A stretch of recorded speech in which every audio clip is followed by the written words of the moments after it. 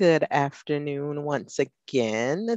If you've been tuned in to us since 10 a.m., thank you very much for your consistency and your perseverance. Uh, I know we've had a lot of information. We've been doling out some great uh, author discussions, and now it is time for our keynote speaker.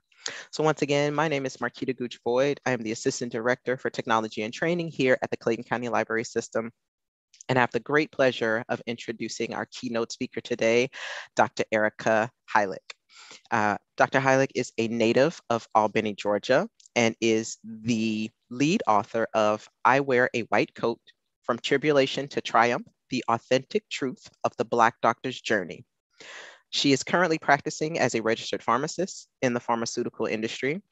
She holds an undergraduate degree in biology from Fort Valley State University, diploma in pharmacy technology from Albany Technical College, and a doctor of pharmacy degree from Florida Agricultural and Mechanical University College of Pharmacy and Pharmaceutical Sciences, all of which carried graduation with honors.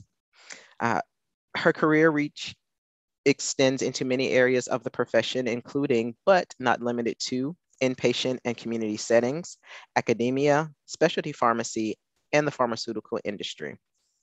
Uh, Ericka's passion resides in narrowing the gap for minorities to enter and attain success in the field of pharmacy by demystifying the process and providing guidance to those seeking that direction.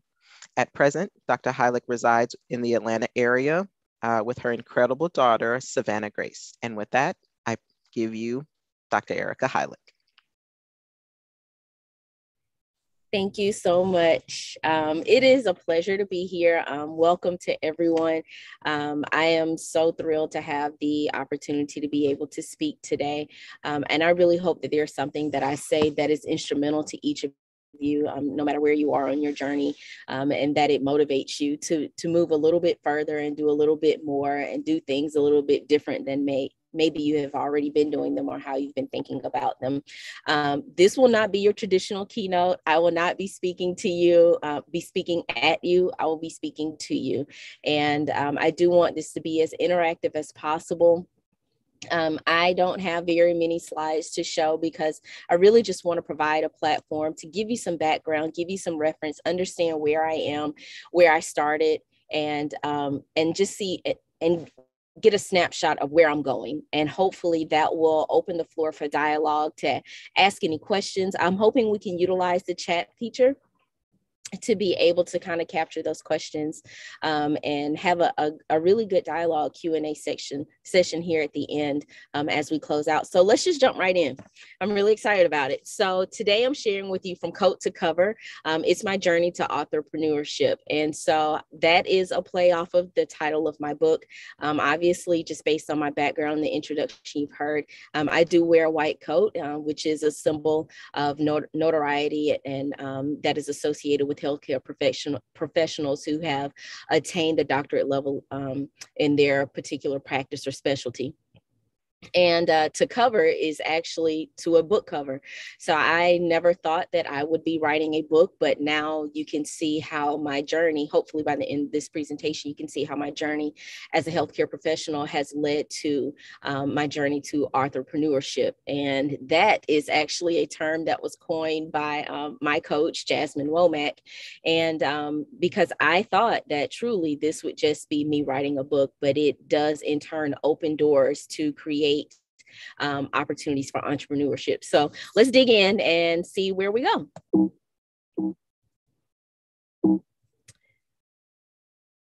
All right, so disclaimer. I, uh, the statements, and I'm just going to shrink you guys here. I'm going to actually go off screen too. I'm going to turn my camera off so we can save some bandwidth.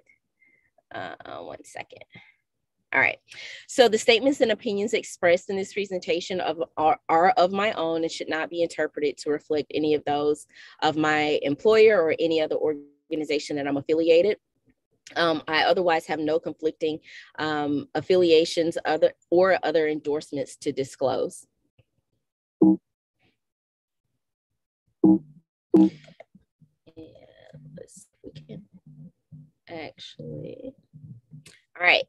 So overall, we're going to go through just a high level outline um, high level outline of you know how did i get here and what makes me qualified to do what i'm doing in term especially in terms of um, becoming an author because i had that question quite a bit. And so i can imagine that some people who are um, early on in their journey or even if you are established in your journey you may constantly be asking yourself that same question. What makes me qualified? What makes me um, the authority to be able to do what i'm doing or write about what i'm writing about? Um, we're going to touch on some of the the some of the ways that you find comfort and discomfort and how leveraging your network is really what is going to be the key into um, really just increasing your net worth and then just looking segueing over into just the planning you know starting you've already decided you're going to write this book. Okay how do you start? How do you plan? How do you execute? What should you be thinking about in those stages? And then the elephant in the room you know what about the fear factor? How much money is this going to cost me? What about time? How do i know this is going to be a, there's going to be a guaranteed return on my investment? And then also just setting your expectations so you can kind of get an idea of where you're going and and what you should be expecting on the other side or when you need to reset your expectations. And then also I'll close out with some recommended resources that have been extremely helpful to me. Um, so I would say these are highly recommended resources. And then, like I said, just engaging in some dialogue. So hopefully we can um, capture the questions that are coming in through the chat. So let's get in. So who am I? Um, as alluded to in my background um, in, in the introduction, uh, I'm a small town girl. I'm a native of Southwest Georgia. I'm the, the eldest girl of eight siblings. So I'm a little bit bossy, um, a little bit headstrong. I am the mommy of one who is now repaying that bossiness and headstrong um, nature back to me. And so Savannah is four years old and she runs the roost. Um, I'm a licensed pharmacist of 10 years, but I've been practicing in the industry for 17 years. So I was actually a technician, a grad, an intern, and a graduate intern, all while um, before going to pharmacy school and while actually in pharmacy school. And here of late, since my book published in um, August of this year, and so here of late, I have added the uh, the title of author uh, onto the existing titles of coach and mentor. And so I, I asked I, I, mentioned earlier, you know, how do I qualify? And this is one of the questions I ask myself a lot. Like, what makes me qualified to be able to write a book, to be able to talk about the things that are on my heart that I think need to be in a text to to close to really address this gap. And so you can see here just kind of a listing of those accomplishments that were introduced in um, in my background earlier. And so, in short, it took my writing coach to bring to my attention that this is how I qualify because I've put in the work and I've done the things that have given me the experience and the exposure and the opportunity to learn more about where the gaps are, where the needs are, and how to fill those gaps with the appropriate needs. So, how did I get here? oh, so this is being a little vulnerable. Um, I actually got here because uh, so I, I know many of us probably grew up watching the Fresh Prince of Bel Air, and in in the theme songs, he says, you know, on the playground is where I spent most of my days. Well, I wasn't that person. I was in the library. That's where I spent most of my days. Um, one second. And so as a result of that, um, I was doing a lot of book reports, a lot of research papers. I grew up reading R.L. Stine and Beverly Cleary and the Babysitters Club. And my all time fave, and still is, is Green Eggs and Ham. And there is no way that anyone can convince me that there is any other book that's better than that on the face of this earth. Um, so you can see in this top picture on the um on the right hand side of the screen this is just me as a as a little girl you know i i grew up reading books i grew up being exposed to the weekly reader and highlights and i remember vividly the Pizza Hut Book It program. And so you can see the two women that are in the very top corner of this slide, that's my aunt and my grandmother. And so it is true that the apple, you know, it doesn't fall far from the tree because my aunt, who both of these women are lifetime educators, um, I was actually the one person in my family who just kind of fell a little bit further away from the tree. Um, I grew up with my aunt who was a retired principal, my, my, my grandmother who is a retired second grade teacher. Um, I was just planted in a family that was just sprinkled with educators. And so I felt almost obligated to have to go into education, but I knew that wasn't me. However, because of their influence, reading and writing and interpretive skills became second nature.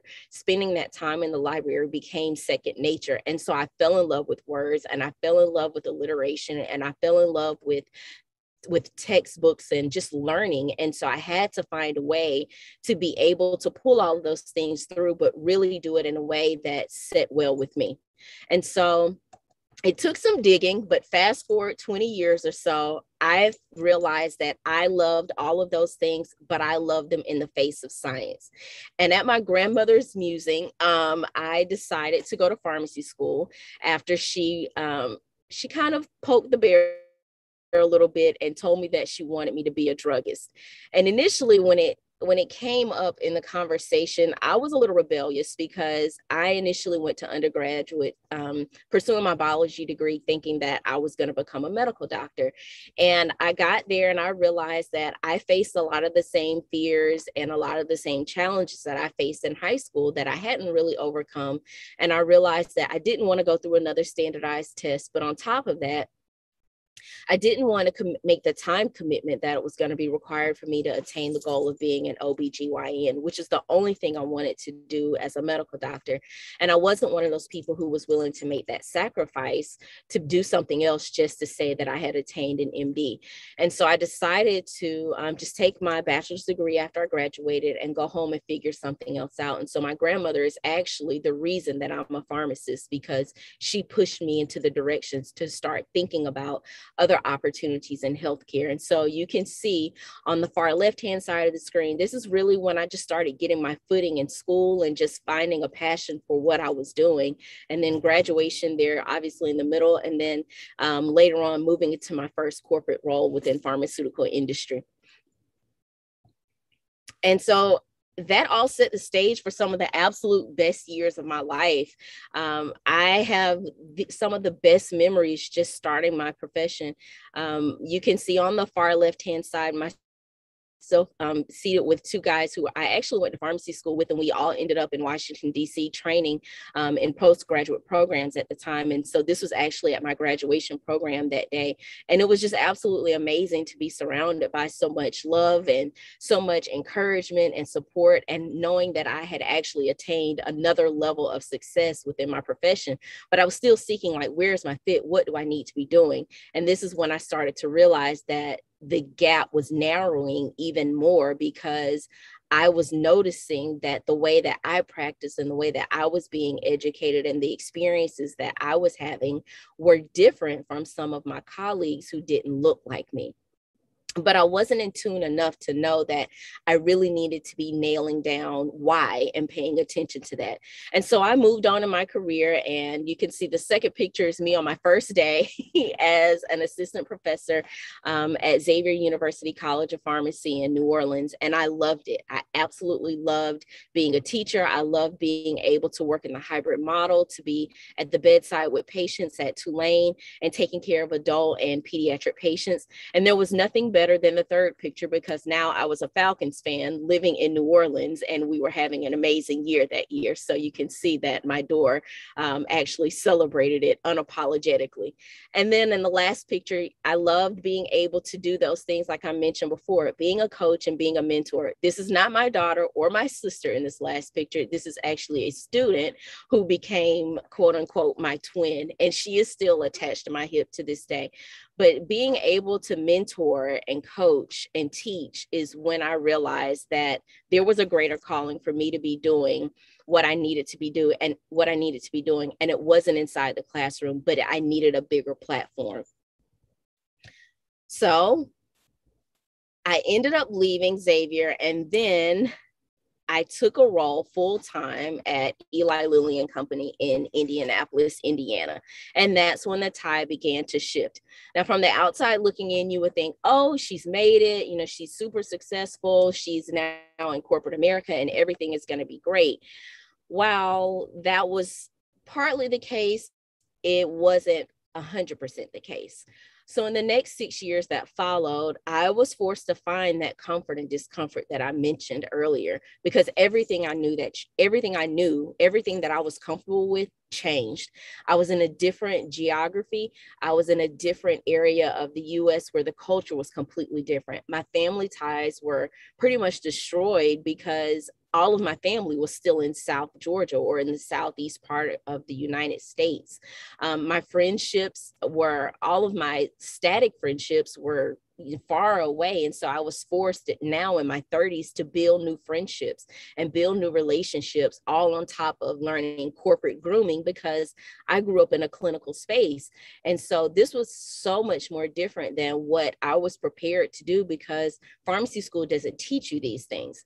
And so this these are just a few things that I was facing, and there were more, but then entree mommyhood and although i was ecstatic to be um, to be expecting and knowing that my daughter was healthy and being able to really fulfill that dream of starting my family which is why i walked away one of the reasons i walked away from medical school um, or, or pursuing medical school i was ecstatic about it however postpartum depression trickled in. And so now you have this on top of all of the other um, variables that I was already kind of navigating.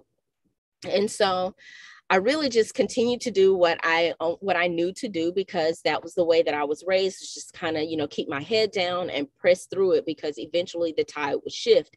However, I was dealing with career ebbs and flows. Um, there were promotions, there were layoffs, there was like I said depression, and then I was starting to see more and more of the inequality in the workplace.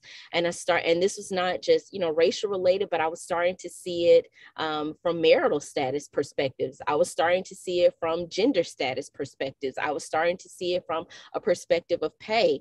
And it, w- it became more and more frustrating to me because I didn't understand where all of these, um, these challenges were coming from. And so I decided that I needed to start thinking about things a little bit differently. But then I got fired. And I got fired based on a false accusation.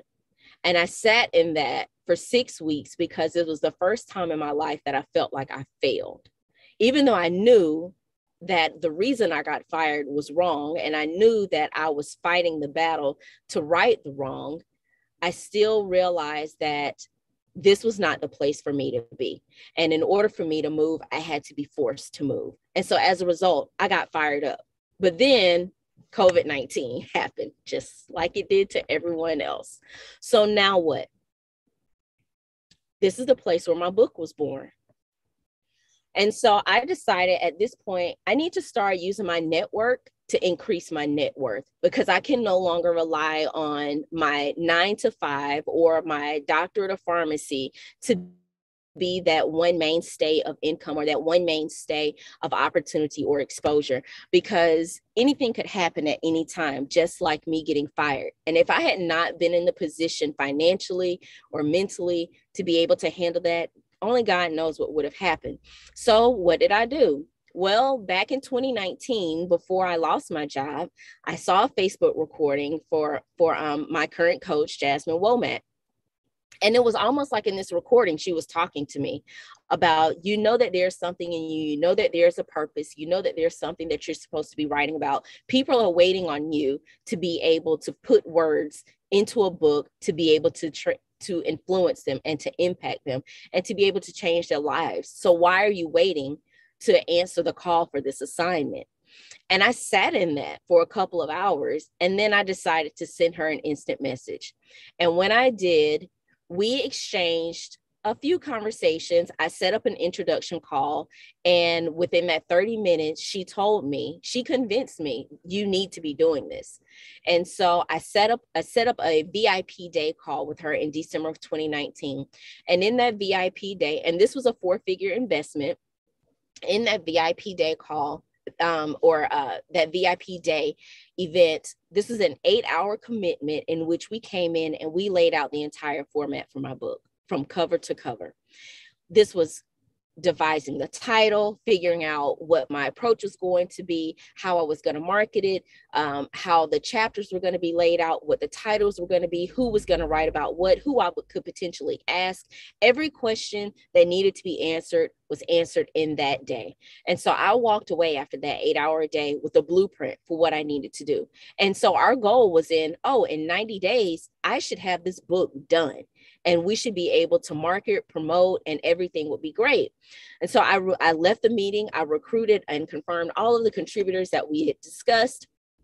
And then February 2020 came and the world stopped. And when the world stopped, so did my project. And so I sat in that in almost in a form of, of neglect and depression and frustration and anxiety for about two months. And I realized that I still needed to grow. And I did, but it was very slow. So, in that time when everyone was just trying to regain their bearings, I began to start focusing on preparation and planning. And so, what did I do? I started I started um, seeking out and attending more classes that would help me to perfect that craft and understanding exactly what people needed to hear, where the gap was, and what I was writing about. How could I fill that gap? Others that had done it, how had they done it? How had they approached it? Where do I really niche down and start to answer the questions that are left unanswered? From a different perspective. And that required me investing time. It required me investing effort and energy and resources. And so I started moving in a different way and I went back to the blueprint that I got from my VIP day and I reached out to um, a cover designer. And so you can see here the very first draft of the cover of my book. And we, I just gave him in an email a high level um, description of what I wanted. I scheduled, and this is what he sent back. This is my very first mock up. Um, I scheduled photo shoots because I said, you know what, whenever this does finally hit the presses, I need to have all of my prints ready to go for marketing for the book cover. Um, and so you can see here on the top right hand corner just that this is the last shot that was taken as we were wrapping that photo shoot. And I can tell you, I was scared to death because I just thought, okay, I'm conti- I was still thinking I'm continuing to spend all of this money for this for this book and not knowing what it was going to do. But I continued to move forward. And so you can see this very bottom picture is when I um, pursued LLC formation because I thought I needed, I knew that I needed to continue to invest and I needed to be committed to the process in order for it to be as fruitful as it needed to be. So, how did I do all of that and put it in action? I hired Jasmine as my writing consultant and I continued to work with her and I continued to make those investments, financial and um, emotional, mental, and spiritual, in order to, um, to yield the results that I needed to yield because I knew she had a proven track record of writing. She had a proven track record of editing, of self publishing. She was an, edu- a language arts language arts educator of 12 years. And so it was just undeniable that I knew that I had someone in my corner that could help guide me through the process because not only could she coach me through it, she had seen it and done it herself and was able to replicate it with hundreds of other authors self-published authors at that. And that lead to me making those connections that i talked about like with my cover designers. I was able to, to locate my editor. I was able to locate my um, audiobook producer. And i was able to talk to other publishers in the industry and understand what that process looked like so i could make the decision on whether or not i wanted to pursue um, traditional publishing versus self-publishing. And then that led to me just having that access to the blueprint for self-publishing because now i had all of these questions questions answered. I had this draft of, of action uh, and this strategy for my VIP day. All it took at this point was for me to make decisions on what I wanted to do and then figure out how I wanted to put those things in action and what I wanted to delegate because I knew that I was working with limited time. Keep in mind, I was still working a nine to five. I was the mother of a young child I wanted to be as present as I possibly could with her. I still wanted to be successful in my career because I needed to make sure that this mainstay was still in place in order for me to continue to grow my business on the back end. Because this is what this has turned into now. This is no longer a book, this is now a business. And so I have to be very cognizant of how I am expending my resources um, in, in order to make sure it grows. So I had to learn where my strengths were and then start to delegate where I knew that I did not have the strength, the time, or the capacity to do such.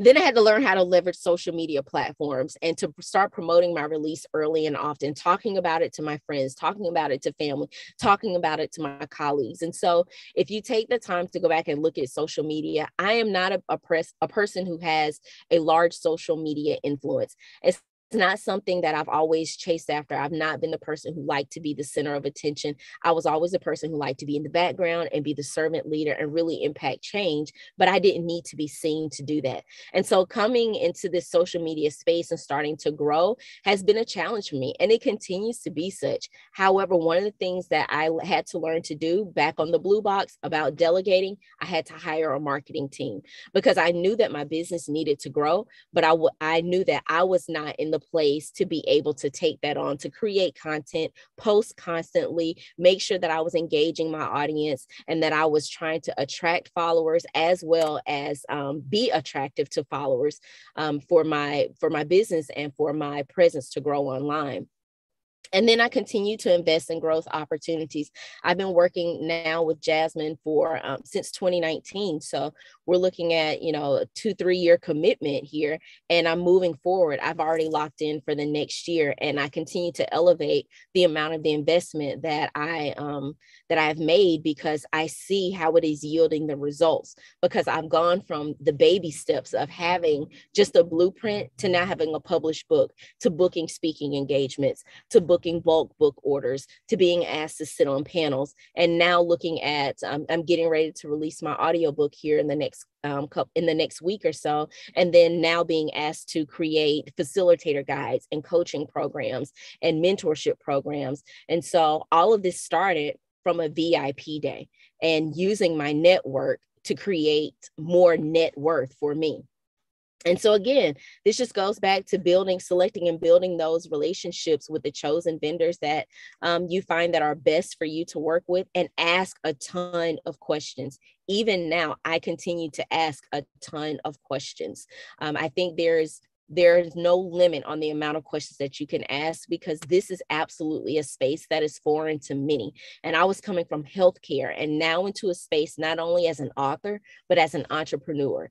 And admittedly that was not something that i had considered initially. I considered only writing the book and putting it out into the atmosphere not realizing i was creating a business. So this has been a very steep learning curve for me and i think that that's probably my largest takeaway that i would share is that this is not just a one time thing. This is an investment in your time and your effort and your energy that if you do it right and you think about it it should scale but the question is how will you scale? And so you have to plan and execute. You know what are those resources? Who are coaches? What webinars or trainings or workshops or conferences can you go to to help guide that process ask yourself the question do you want to pursue traditional publishing or is self-publishing the best for you? I chose self-publishing because i didn't want to deal with the middleman. I wanted to make sure that i had the sole rights and um, proprietorship for everything that i did and when i got ready to make a move i was i wasn't going to have to be bound by um, some type of contract with someone else who held rights to um, to my my creative content I had to understand my why. And this was not, this was a, a project of purpose. This was not a project for profit when I did it. And so it didn't start to make sense to me that it would make dollars and cents until I realized on the back end that this was a business and I had to start respecting it as such. But the the struggle for me in the beginning was making sure that I stayed true to my why. And my why was that I wrote this book to fill fulfill a purpose and a gap for those people who are minorities looking to enter into the healthcare space but are not appropriately aware of what those challenges look like and how to navigate that path. And so everything that I commit to now make I have to make sure it ties back into the why and that it helps the greater um, the greater purpose as opposed to just padding my pocket. Um, and then I had to initiate my plan. You know, does that, how does that navigate with the next steps that I have in mind? Does it fit within that path and that pattern? Is it a part of the journey? Is it something that I can scale? And absolutely, this is something that I can scale and I have, I have scaled and will continue to scale. But I think it's also, um, this is a seed planted for you to think, okay, when you write this book, is it just you telling your story? or is it you telling a story with steps to overcome or steps to attain X, Y, or Z? What is the end goal? What is the reader walking away with? How will they be changed after ingesting your content? And that's what you have to keep top of mind because just telling your story, anyone can tell a story, but where is the impact? And so that's why it's very important to plan your content before you write. And a lot of it just goes way back to the fourth grade, fourth and fifth grade, when we used to brainstorm and we had to write a draft, and you had this, you know, standard um, format for creating reports. You know, you had an introductory paragraph and three supporting paragraphs and a conclusion. And those are the types of things I had to take it back to the fundamentals and I had to really plan that content. So, again, this is what you saw in the VIP day. And then I had to remember that I hired an editor. So I had to let my editor be my editor and I be the author. And so I had, I often found myself making corrections while I was writing and I was wasting time. I was wasting energy and resources because I was so, um, I was so committed to trying to make the the project perfect as I was going along that I was missing the opportunity to just get what needed to be on the pages on the pages and allowing him to do the work um, of of actually making it pretty. And then the other thing that I think that I needed to do that I didn't do early on was invite my readers along on the on the journey. And so I needed to leverage social media as much as possible to to build momentum. And this is something that I admittedly missed out on in the beginning because I didn't engage as much as I needed to because I was stuck in that fear factor and I was stuck in that handicap of I didn't want to do anything right. I didn't want to do anything if I didn't think I was doing it right. And I felt like I only needed to do it do it when I was doing it right and doing it right now. And so that means like I'm do when I do it, I'm doing it right now because it's right, because it's perfect. And it didn't need to be that way. So it became a handicap. And so now this moves into okay, we talked about some of the challenges and just planning and executing. Okay, but what's the elephant in the room? Because everyone already always asks, okay, well, how much is this going to cost me? How much time is this going to take? Well, the initial investment, I've heard some people who have started this process as low as $300. And that's just, you know, they've done their own editing. They've, you know, gone to um, sites such as fiverr.com or Upwork, and they found someone to create um, their, um, their cover design and do their internal layout on the book for, you know, just cheap prices. However, you, my belief is that you whatever you pay for is what you get and I decided that I didn't want to take the low end on this approach because I wanted my reader to ingest a high quality experience.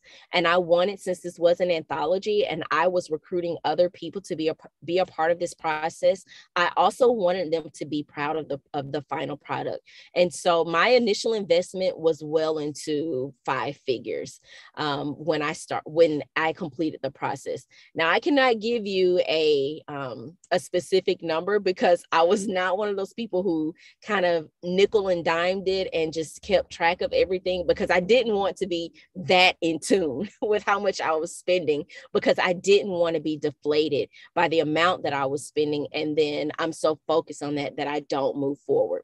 And so that ties into the next one uh, in the elephant in the room the fear factor. So I had to alleviate anxiety and I had to alleviate the thoughts of any judgment or second guessing of myself or from others and just right.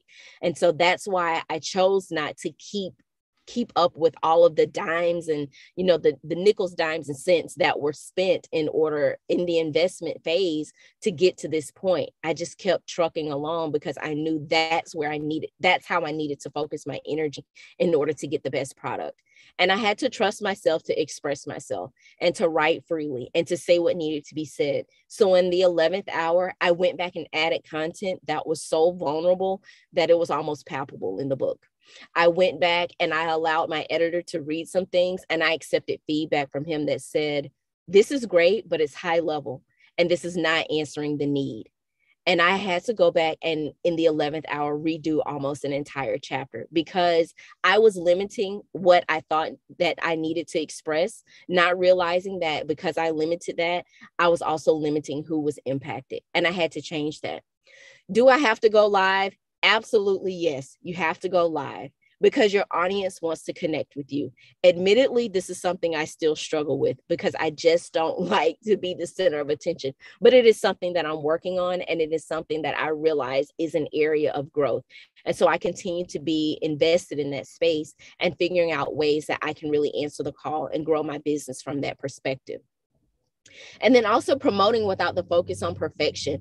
Again, you just need to put it out there. You need to let people know what you're doing and why, and have conversations and reach out and start um, sequestering support from, you know, some of the podcasts that you listen to, or, you know, who do you follow on LinkedIn or on Facebook or on Instagram, or how are you going to get your project in front of those that really are going to be um, who are going to solicit to uh, the product that you're putting out and how are they going to help support you? How can you leverage your platform on theirs and vice versa? And then just get out of your own way.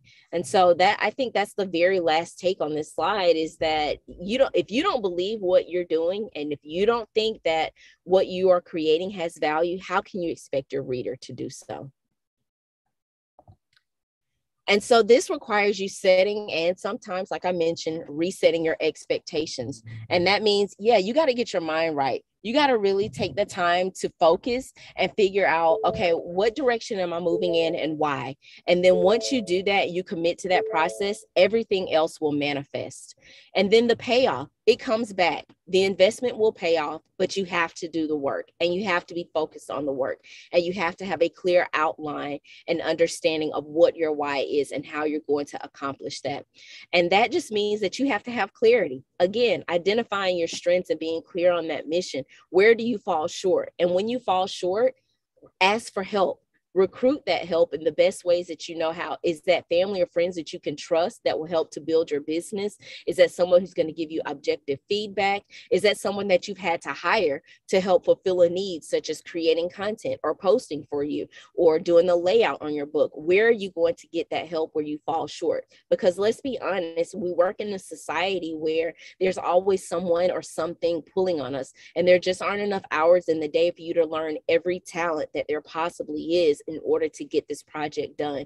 And so you really need to be able to be vulnerable enough to allow yourself to delegate some of those areas where you may not be as strong right now. And then activate. So, leveraging all of your resources. Don't count anyone out. My very first bulk order came from someone that I went to high school with, and we were in the marching band together. She saw one of my posts, and I found out that she was the director for a um, for a program in our hometown. And she ordered a copy of my book. She read my book, and then she reached out to me for a bulk order. Leverage all of your resources don't count anyone out because you never know where that sale may come from. Price, I priced my book at the top of the price limit um, that's that I thought was acceptable, where I was comfortable. And that was because I realized how much work I was putting into this book. I realized how much work my colleagues were putting into the book. I realized how this book was going, going to scale and the impact that it was going to make. And so I priced it accordingly. And I did that and I sat in it and I submitted the price and I made sure that I did not look at it or touch it again because now it was, I had to submit it to, to layout and I had to submit it to cover design. And it was set in stone at that point. There was no way I was changing it. And I knew I needed to do that in order for me to really continue to be confident in the value that I was putting in between those pages and making it accessible for people to buy. And so, in doing that, I had to allow myself to realize that I can't count people's pockets.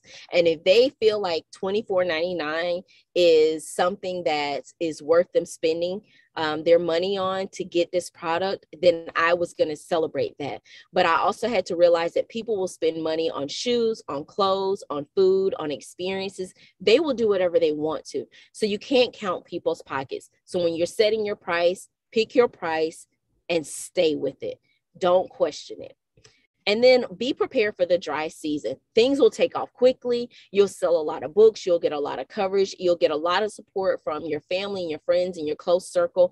And then the slump will hit. But when the slump hits and there aren't as many books going out, or there aren't as many calls or emails or text messages or DMs coming in, what are you going to do? And that's where you have to continue to do the work because it really does happen. And so you can see here on the far left is when I got my um, the final copy of the advance for me to to review from my um, from the layout and from the um, from the printing company. And you can see the second picture here is when I picked up the bulk order of the first um, the first round of books that were printed. And then I took it home and opened the box. And I was so excited to actually see my name and my face and my colleagues on this book and this project that was supposed to be 90 days that had now turned into two years almost at it finally materialized and it made every moment and every dollar and cent and every tear and every frustration and every other emotion I had completely worth it. And then I got my very first book review from the advanced copies that we shared. And just to read this was something that absolutely took my breath away. Why? because this was written and submitted by someone who's not even a healthcare professional.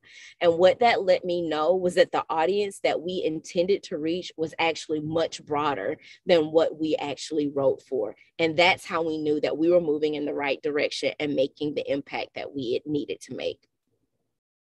And so I close this out by saying that there are tons and tons and tons of recommended guides and resources and um, and and coaches and consultants and webinars and all types of things that you can access but I stand by tried and true and what I've had my experience with. And so if you're looking for just a quick and dirty, um, but trusted resource to kind of get you on your way or to just to answer some of the questions or demystify some of the processes, then I do highly suggest um, the book Published and Paid, How to Write, Self-Publish and Launch Your Nonfiction Book in 90 Days or Less by Jasmine Womack.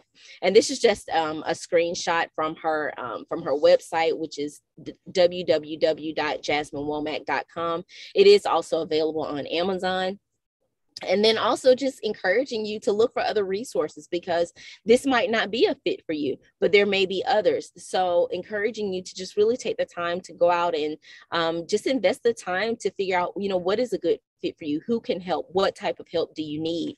Um, if you're in a slump with cover art or design i highly recommend justin harden at damascus media. He's been an amazing person to work with. And then my editor as well um, dr joel joel Bo- boyce um, at jcb ed pro. Um, both of these can be found on instagram. Um, they're both they have both been amazing individuals and please um, let them know if you do if they if you are looking for these types of services and you do reach out to them and you find that um, they're a good fit please let them know that i sent them your way that i sent you that that i sent you their way i'm sorry.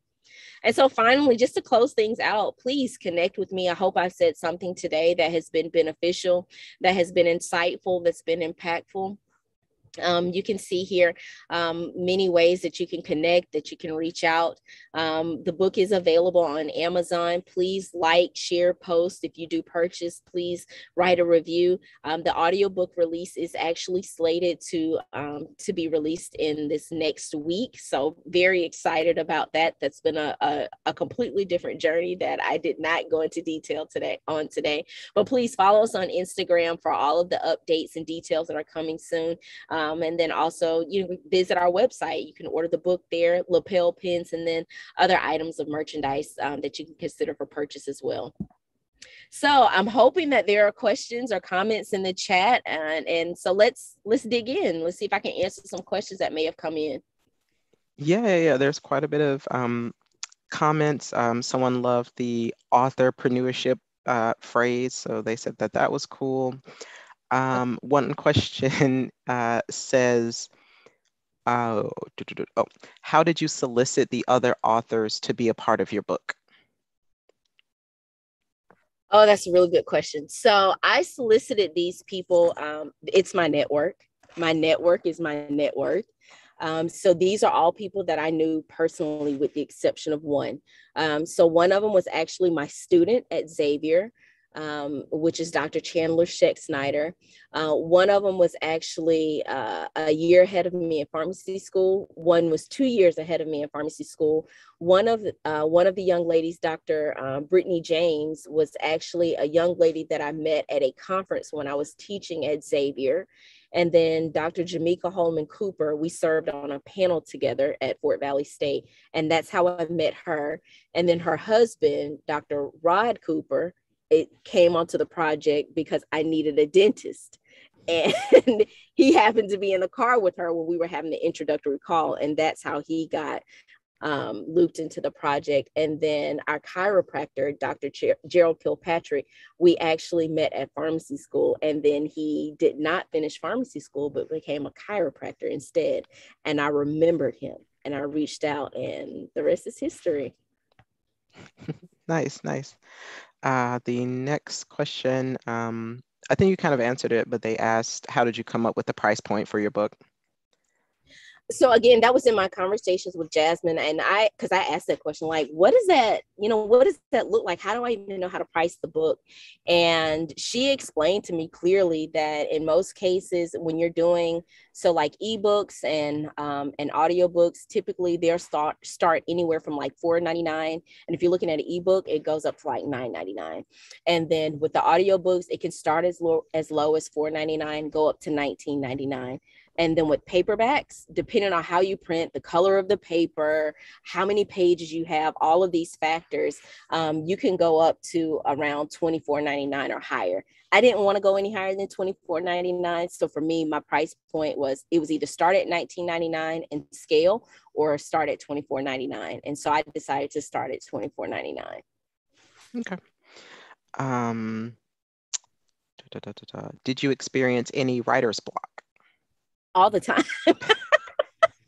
all the time. Um, I, I, and I'm glad that question came up because um, I actually wrote the majority of my book on my iPhone at two o'clock in the morning, laying in the bed in my wow. notes. Yeah, because that's when I would lay down to go to sleep. And that's when things would start coming to me. Mm-hmm. And I would just pick up my phone off the nightstand and I was like, oh, I'm just going to jot these notes down. And then the notes would become full chapters. And all I would have to do was just copy and paste it, put it in Google Drive, eh, well, Google Docs, and my editor was able to access it. And that's how the book was built. Nice. Um, this next one says, why did you decide to make it a book of essays instead of writing just from your perspective? Um, so so I will say it's not it's not necessarily just essays. It's everyone sharing their um, their particular journey, and so they write from their perspectives, but not just about one particular piece or one particular topic. I will say that. So it's not quite in the essay category. Mm-hmm. Um, and I decided to do an anthology because I knew that the world and the experience was bigger than just mine. It wasn't just a bubble. And I knew that the audience that we were attracting was going to be a diverse audience. They were going to be different genders, they were going to be in different facets of healthcare, they were going to be different ages, they were going to have varying interests, varying backgrounds. And so I wanted there to be someone who could, someone that they could read about and relate to at every part of the book. And I wanted the book to be written in such a way that it could either, either be read cover to cover or a la carte. And if you wanted to come and you just wanted to read chapter one, and let's say you got busy and you decided to come back three months later and read chapters two and three, you could, and it would still make sense. So that's why I chose to do that approach. I just wanted to make sure that my audience could relate no matter where they were. Cool, cool. Um, someone was asking if you could go back to uh, the slide that had Jasmine's information. Sure. Let me see.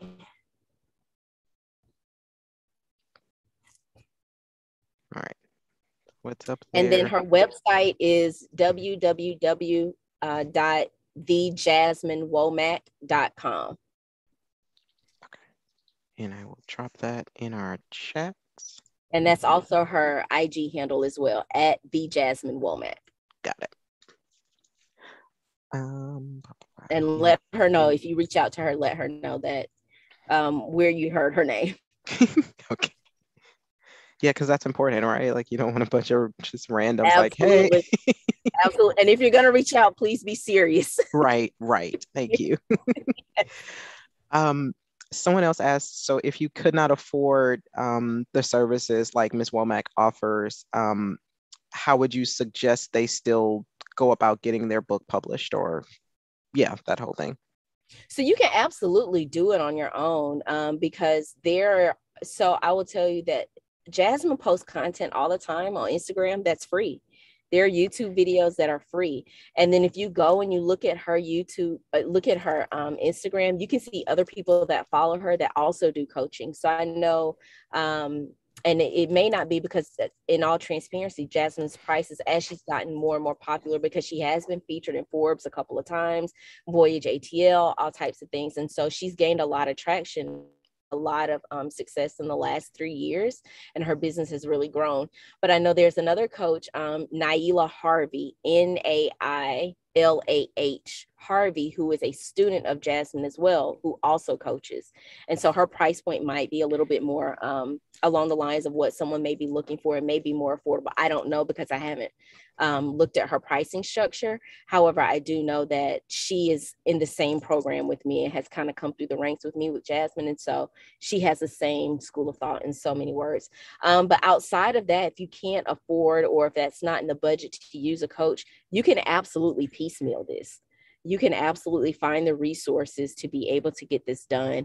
Um, and those things can be available just by looking at just starting at the top, starting with someone like Jasmine or Naila and looking at how they're connected, looking at what types of things they're recommending, signing up for their free webinars and resources because they give them out all the time.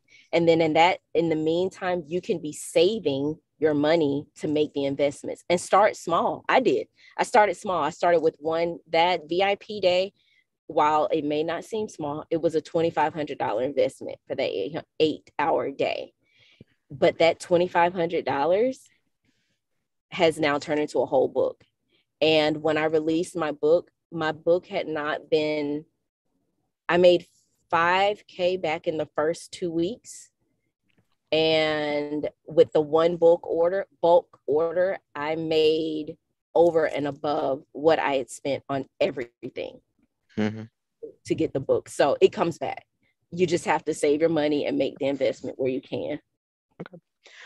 Um, is your book right now just in print format or are there plans to do like um, ebook versions and an audiobook maybe so there it is in print format now. Um, ebook was just converted two days ago.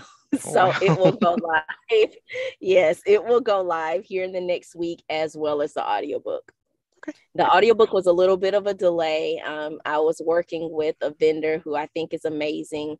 However, he had a lot of kind of hiccups that came in along the way because COVID has happened to everyone. And so it put a lot of delays on my project. And so now we're finally at the place where we can push go. So I'm pretty excited about that. Cool. And is each contributing author reading their own submission or is it kind of voice actors? No, it's one voice actor. And I chose to do that simply because it was already a headache to, to just get all of the submissions in and to get them all edited and get everything turned back around in a timely fashion.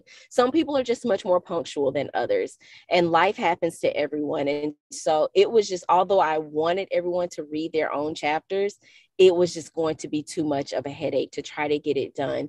And so, what we've opted to do instead of that is when we host, when I'm asked to come speak, I offer to have people from the people from the book, other contributors to come, and we serve as a panel group. And then we do a read during that panel. And so that's kind of helped to kind of scratch that itch a little bit, if you will. Mm-hmm. Yeah, and I know that you do a couple of um, Instagram lives with some of the contributing um, authors as well. Yeah. Yep, we've done that. Uh, we put it on pause the last couple of weeks um, because, again, life has happened to everyone. And so we're hoping to have um, the next one when we come back um, that we're getting scheduled now will actually be everyone. And because we never did a formal book launch because right. COVID. because right.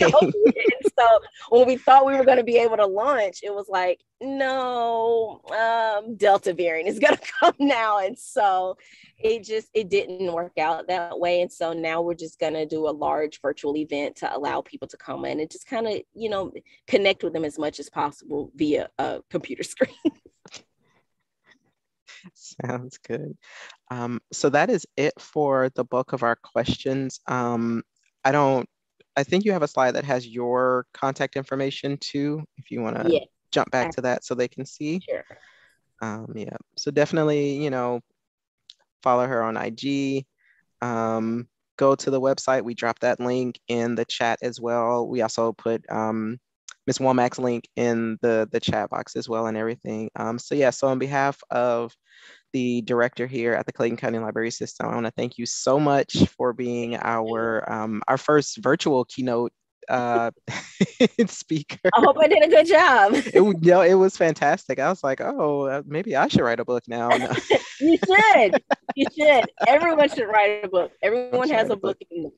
Everyone should have a book yes. And if you have, if anyone has any other questions, please don't hesitate to reach out. Even if you have questions about just working with Jasmine or any other vendors, or if you're just having problems with writer's block or whatever, if you just, if there's something I didn't touch on, you need me to dig in a little bit deeper, I do not mind sharing. So please don't hesitate.